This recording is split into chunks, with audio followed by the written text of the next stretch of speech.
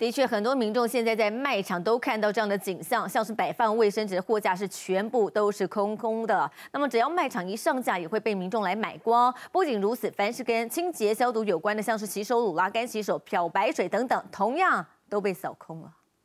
我这里要再讲一遍了哈，卫生纸的原料跟口罩的原料是不一样的。卫生纸的原料是纸浆，那我们口罩的原料是不织布啊。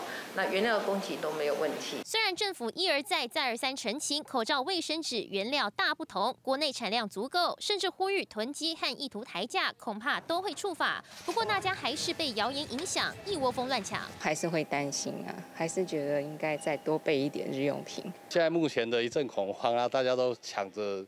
对啊，来这边收购这样子。民众一出手就是搬走好几串卫生纸，甚至全家出动拿好几部推车来载。超市卫生纸货架空荡荡，更被网友揶揄根本变成休息区。实际来到卖场可以发现，货架上的卫生纸真的是所剩无几。虽然业者表示已经有补货，但是一上架就马上被一扫而空。同样掀起抢购风潮的还有洗手乳、干洗手、漂白水，只要跟清洁消毒有关的，尤其写着抗菌防疫，几乎第一。时间就被扫空。要是在上礼拜四到礼拜五开始，到目前为止，如果以平日或是同年的这个时间点去做比较的话，应该有成长两成多以上。就连泡面、冷冻水饺等等货架上也是空了一大块。业者分析，可能是民众防疫宅在家，或是因为香港、新加坡传出已经开始抢起泡面，台湾民众才跟着疯抢。口罩之乱还没平息，却一波未平，一波又起。民众跟风前，还是得多留意正确消息，才不会伤了荷包。记者江晨俊、刘玉轩台报道。